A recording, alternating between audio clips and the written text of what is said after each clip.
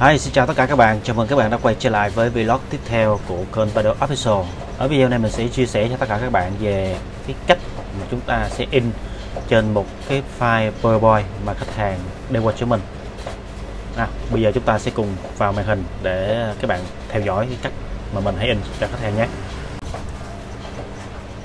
Rồi mình đây mình có một cái file của một anh khách hàng. À, Anh đã gửi cho mình thì các bạn thấy trong đây thì nó có rất là nhiều uh, cái định dạng ví dụ như là chấm đốc này uh, chấm ờ, uh, bbt tức là cái uh, cái này là cái thuộc về cái file của thằng PowerPoint. File PowerPoint là file chủ yếu người ta dùng để mà người ta trình chiếu à, thường thường áp dụng vào trong các chương trình giảng dạy đặc biệt là đa số là tất cả các khách hàng là đối tượng là cô giáo thầy giáo. Thì người ta sẽ áp dụng những cái ờ, PowerPoint này để chúng ta sẽ giảng dạy. Chúng ta trình chiếu từng slide một. À, thì ờ, sẽ có những cái cách. Bây giờ chúng ta sẽ mở cái file này lên để chúng ta sẽ in. Các bạn chờ một xí sau khi cái file nó mở lên thì mình sẽ ờ, chỉ cho các bạn về cái cách mà mình hay sử dụng để mình làm. Rồi bây giờ ở đây các bạn sẽ thấy có một cái file của khách hàng thế này. À, có một cái file của khách hàng thế này. Đây là cái file của PowerPoint nếu các bạn mà để bình thường à, nếu mà bình thường mà các bạn in bây giờ các bạn để sẽ bình thường các bạn bấm cần trên B thì các bạn sẽ thấy hiện tượng nó sẽ ra tức là nó sẽ in theo cái dạng à, khoa tư. Thì ở đây mình sẽ chọn cái máy uh, Savin 4075 à, máy photo. Thì khi mà mình chọn vào đây à, ở đây sau khi đó thì mình sẽ chọn à, đối với khách hàng muốn in hai mặt thì chúng ta sẽ chọn vào phần hai mặt ở phần duplex này nè à, các bạn sẽ thấy nó là off tức là in một mặt. Còn đối với hai mặt là các bạn phải vô cái phần open toilet tức là in hai mặt. Rồi sau đó chúng ta sẽ chọn khổ ờ, chọn cái nơi cái nơi giấy mà chúng ta sẽ in ở trên cái máy photo của chúng ta đó. Thì ở đây mình chọn thêm một và sẽ bấm ok. Thì ở đây các bạn sẽ thấy là khi mà mình chọn như thế này thì nó sẽ ra một màu đen như thế này. Là màu đen thế này. Thì khi đó các bạn sẽ chú ý cho mình là khi mà chọn cái màu đen như thế này thì có một số phần đó, nó sẽ ờ, không có thấy. Nha, nếu, đối với một số, ví dụ như ở đây này ví dụ ở đây là một cái nền mà cái chữ nó màu đen. Nó một cái nền mà cái chữ nó đen thì chắc chắn các bạn khi in lên các bạn nó sẽ không thấy. Do đó là các bạn phải chỉnh cái này, nó khi mà ấy khi mà đưa một cái file in như vậy thì nó ở về mặt định trắng đen. Do đó các bạn sẽ chuyển, các bạn thấy cái phần này nè. Đây là cái phần phía bên chỗ chuột mình đang ờ, di chuyển nè. các bạn sẽ thấy ở đây. Ở đây là cái phần trắng đen, nó đang ở cái thằng ờ, bracer này thì bây giờ các bạn lít mũi tên xuống các bạn sẽ chọn vào cái color cho mình. À, các bạn sẽ chọn vào color. Thì đối với dạng, dạng color thì nó sẽ cho ra những cái phần mà cái màu chữ nó sẽ thấy rõ hơn. Còn nếu các bạn chọn màu trắng đen thì nó sẽ không có ra rõ cái phần uh, phần uh, phần màu. Do đó là khi mà chúng ta in trên file PowerPoint thì các bạn nên chú ý là thông thông thường file PowerPoint là những cái file những cái định dạng mà người ta dùng để trình chiếu thì nó sẽ có những cái dạng nền nền đen. Nó có xây dạng nền nền đen thế này.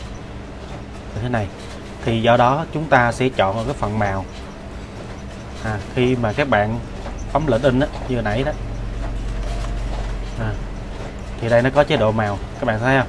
Đây là chế độ màu này đó khi các bạn chọn cái này thì nó sẽ hiện này. Ở đây à, ở đây là nó sẽ chọn giữa màu đen và màu trắng thôi. À, đó các bạn sẽ thấy. Tuy nhiên có nhiều cái các bạn sẽ chỉnh đó, nó sẽ không không có thấy chữ luôn. Do đó khi các bạn làm thì các bạn vào trong đây các bạn chỉnh làm sao để cho cái chữ người ta sẽ nó rõ ra trong thôi không khéo là nó sẽ bị mất chữ. À, đối với những cái file như thế này thì mình nghĩ các bạn nên nên các bạn để ở chế độ màu color này các bạn sẽ in thì nó sẽ ờ, cho ra cái bản in nó vừa thấy chữ và nó sẽ thấy có một số cái phần nội dung nó sẽ không bị mất.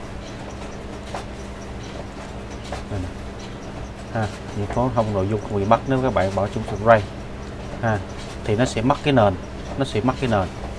Tuy nhiên có một số cái. Đây. Đây các bạn thấy không?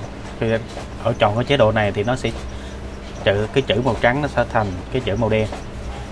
Đây đây nha, màu đen thì có một số cái trường hợp bây giờ mình sẽ chuyển là cái màu qua thử nè.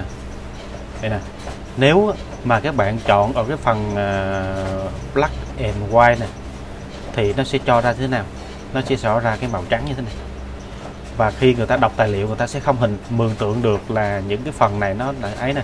Khi các bạn đưa vào trong cái nội dung màu thì người ta sẽ mường tượng được à chỗ này nó đậm chỗ này nó hơi lợp chỗ này nó hơi xàm sạm một chút thì người ta sẽ dễ nhìn cái file của người ta hơn à, do đó tùy theo cái uh, từng loại file. À, tùy theo từng loại màu nền và chúng ta sẽ canh chỉnh chỗ này sao cho nó phù hợp. Và theo mình thì mình các bạn nên để ở chế độ màu color thì in nó sẽ dễ dàng hơn và nó sẽ đảm bảo đủ tài liệu cho khách hàng. Chứ còn nếu mà các bạn chọn ở với những cái phần như thế này thì có thể sẽ có một lúc à, những cái phần nó sẽ bị mất là do là cái giữa cái nền với là cái chữ nó sẽ trùng màu với nhau nó sẽ không có rồi đối với đây thì khi mà các bạn sẽ thấy nè khi các bạn ở chế độ in á bên này thì nó sẽ ra một cái khổ A4 như thế này. Ha, khổ A4 thì chúng ta sẽ in hai mặt thì nó sẽ ra hai mặt. Như thế này. Còn đối với khách hàng mà đang yêu cầu ở chế độ in 2 slide 6 slide 8 slide trên một tờ thì các bạn ở vào trong cái phần phần trên đây nè các bạn thấy full size à, full page nè.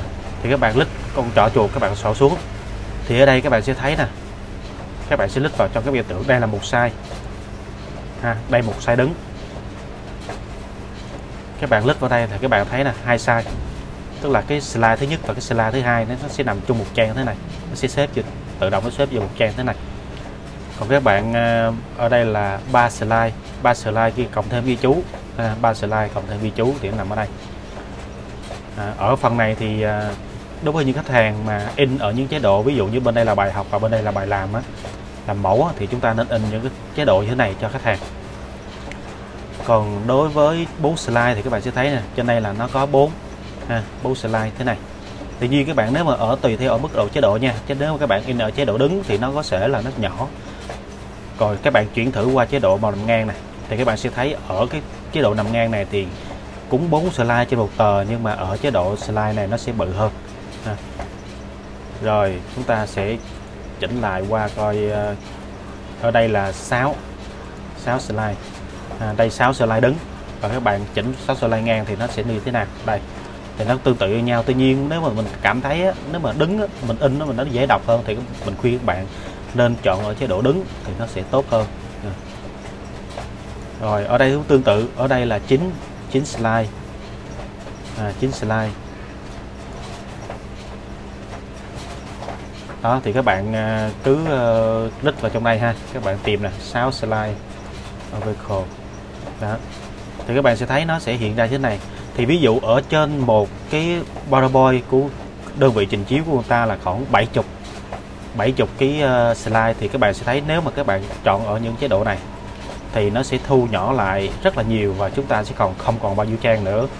Và khi đó thì cái tài liệu của khách hàng rất là mỏng và nó rất là dễ đọc do đó là khi ở đối với cái chương trình uh, in của PowerPoint thì các bạn nên uh, tư vấn cho khách hàng. Có thể nhiều lúc khách hàng không hiểu không biết thì khách hàng cứ đưa vào in cho một tờ giấy A4 tuy nhiên mà khi mà các các bạn cần giải thích cho khách hàng là cần phải dồn slide lại để cho nó vừa dễ đọc nó đảm bảo đọc được và nó sẽ hạn chế số trang cho khách hàng.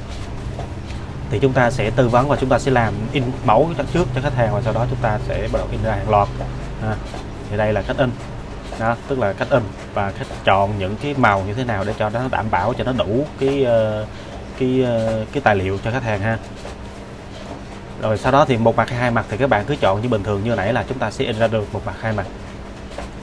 Còn điều nếu mà nếu mà ở ờ, cái file này, có một số máy sẽ trường hợp, có một số trường hợp là các bạn sẽ thấy là cái máy nó bị lỗi. Nó sẽ không, khi mà mình bấm cần Ctrl B nó sẽ không cho in.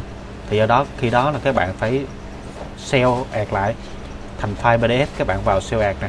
Các bạn à, vào computer. À, các bạn ở đây nè. Các bạn lít sổ xuống và ở đây nó có chương trình của file PDF các bạn chọn lưu nha. Ở đây mình thử lưu vào desktop và mình mở lên cho các bạn coi. Thì đây nó sẽ xuất ra một cái file PDF bây giờ các bạn bấm cần Ctrl B. À, như thế này. À, sorry các bạn.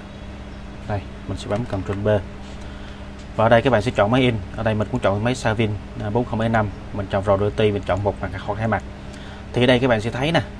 Ở đây nếu mà khách hàng muốn chọn ở chế độ mà in in cũng giống như bên PowerPoint là in ở chế độ à, um, 4 slide trên một uh, tờ giấy trên một uh, mặt.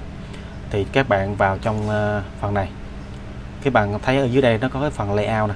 Các bạn ở đây thấy các bạn thấy một Viber ship nè tức là một một trang ha, một trang tư.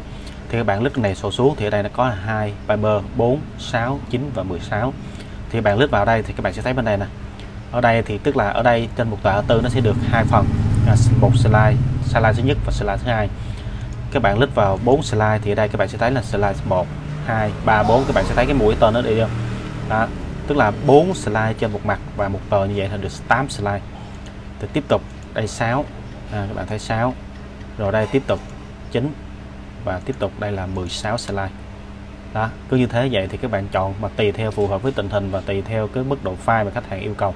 Thì chúng ta có thể khi mà chúng ta không in à, trên cái phần PowerPoint nó không cho in trực tiếp hoặc nó bị lỗi nó báo lỗi một gì đó nó không cho in trực, trực tiếp trên PowerPoint thì mình sẽ sử dụng PowerPoint đó mình sell về phần PDF và mình sẽ in trên file PDF cũng theo bằng cách này. Thì chúng ta cũng sẽ được một cái file à, có thể là hai slide 4 slide 6 slide hoặc 9 slide như thế này.